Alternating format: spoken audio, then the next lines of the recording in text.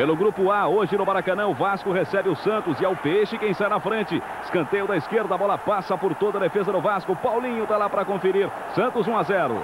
O Giovani faz um lançamento errado. A bola é do zagueiro Pedro Paulo dos Santos, mas ele dá um presentaço. Bebeto não perdoa, marca. Ainda no primeiro tempo, o Vasco vira o jogo. Luizinho toca para Edmundo, que lança Bebeto. E o Vasco dá mole. Outro escanteio da esquerda, a bola passa de novo por toda a defesa. De novo, Paulinho está lá para mandar a bomba. É o empate do Santos, 2 a 2. Mas o Vasco tem Bebeto, ele recebe de Edmundo, domina, toca no cantinho do goleiro Sérgio. É o terceiro gol de Bebeto no jogo.